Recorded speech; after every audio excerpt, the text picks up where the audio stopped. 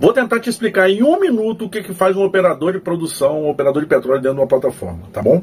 Mas o vídeo maior tá no YouTube, que eu tô subindo o vídeo, eu já subi. Então vai lá no YouTube, no canal Mundo Offshore. A operação dentro da plataforma de petróleo de produção é dividida em vários eh, operadores. Um deles cuida da sala de controle os outros cuidam na área. Esse que trabalha na sala de controle, ele ajuda todo mundo que está na área e também cuida da segurança da embarcação, da plataforma toda.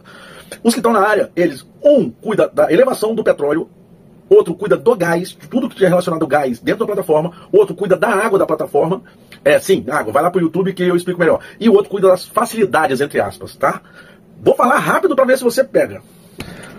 O operador dentro da plataforma de petróleo vai cuidar de manobras operacionais de partidas, rotinas e paradas, manobras de liberação de equipamentos, amostra, amostras, vai ter que retirar amostras de insumos e produtos para acompanhamento, análise de riscos na tomada de decisão, por exemplo, vou partir, eu vou parar uma planta, tem que ter análise de... e acompanhamento de processo, que é o básico dele, que é o operador de processo, operador de produção, e preenchimento de relatório, tá? Fora que todas, todas as manutenções ele vai ter que acompanhar, o operador da área.